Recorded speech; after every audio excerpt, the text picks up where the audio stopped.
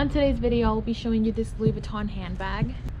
This is a Louis Vuitton Bowling Kensington. It does come with a receipt. It also comes with the dust bag. Comes with a removable strap. So as you can see, the strap is brand new as well as the bag it was kept in really well condition.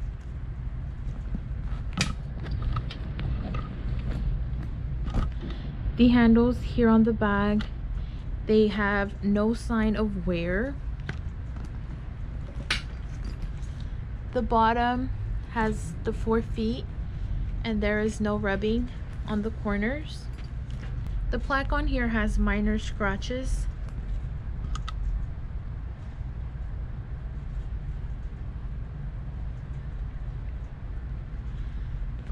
you might not really tell because of the reflection but make sure you look at the pictures carefully.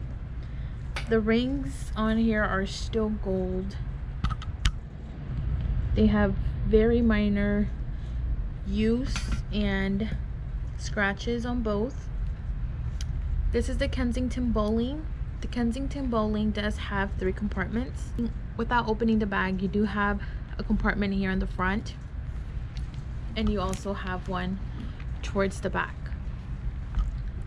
So easy access to get inside the bag without actually opening it.